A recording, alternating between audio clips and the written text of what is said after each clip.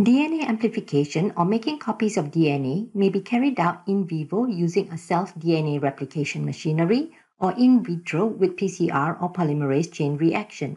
The key components in PCR are the DNA template with the sequence to be amplified, thermostable DNA polymerase, deoxynucleotide triphosphates, primers, cofactors, and a buffer.